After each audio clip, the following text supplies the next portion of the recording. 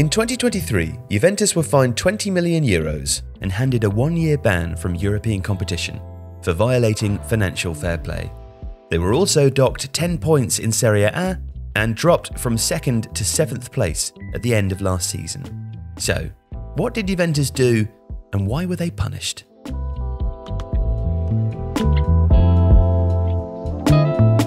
Juventus were found guilty by UEFA of violating FFP in two ways. These were popularised as scandals in Italy and are known as plusvalenza and prisma.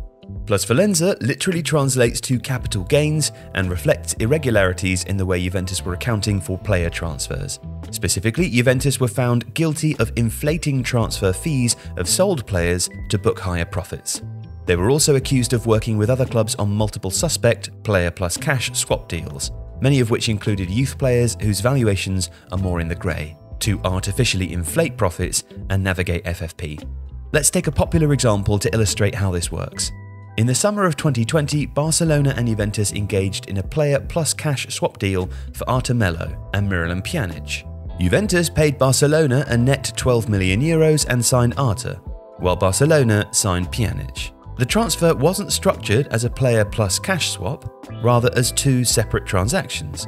Namely, Barcelona would sell Arthur to Juventus for 72 million euros, and Juventus would sell Pjanic to Barcelona for 60 million euros. In effect, the transaction would be the same a net 12 million euros in cash paid by Juve to Barca, and then the two players swapping clubs. So, why then was it structured as two separate transactions? Well, the key is in the respective transaction amounts and in how player transfer accounting works for FFP. Player sales can be booked as profit in entirety immediately, while player purchases are amortized over the duration of a player's contract. Miralem Pjanic was signed by Juventus in 2016 from AS Roma on a five-year deal worth 32 million euros. So, in the summer of 2020, he was entering the final year of his contract.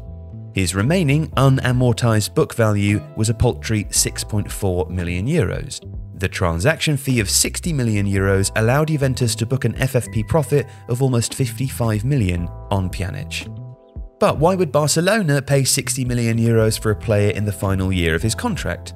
Barca would only agree to a transaction like this if they were getting the same flexibility, which is why Juventus had to also inflate purchase prices, not just selling prices, in such swap deals. Arthur's 72 million euro transfer fee, which allowed Barcelona to also book a hefty FFP profit on a five year contract, translated to about 14.5 million euros of amortization cost for Juventus.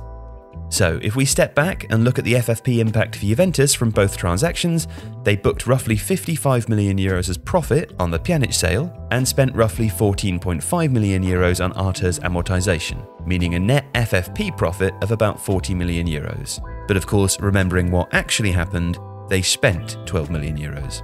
And this is the heart of the Plusvalenza scandal. It has been reported that Juventus did this over 40 times in multiple transfers over multiple seasons. The club were initially found guilty by the Italian Football Federation and docked 15 points in Serie A. However, Juventus appealed, and that decision was reversed because the prosecution weren't able to conclusively prove that Juventus had inflated transfer fees. This is because player transfer valuations are not an exact science. Juventus capitalised on this grey area in FFP accounting. However, UEFA independently investigated Juventus and did find them guilty of doing this, and this is part of the reason why Juventus were banned.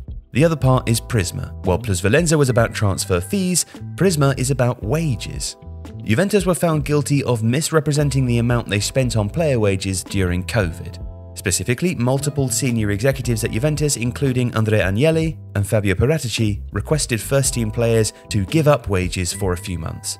However, Juventus continued to pay them their wages off the books. So, while they reported publicly that players had given up wages and didn't reflect this in financial statements, they were actually paying the wages anyway and therefore misrepresenting club finances, which is a serious FFP violation.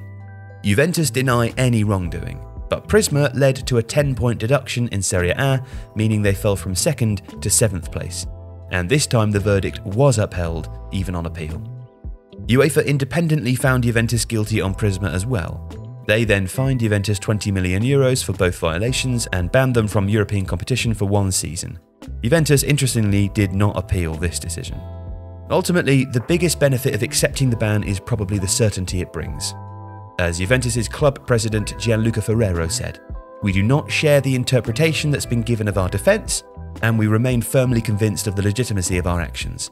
However, we've decided not to appeal this judgment. We prefer to put an end to the period of uncertainty and ensure full visibility and certainty to our internal and external stakeholders about the club's participation in future international competitions. And it was a turbulent period. In addition to the hefty fine and multiple rounds of points deductions, the entire board resigned in November 2022 and eight senior executives at Juventus received bans.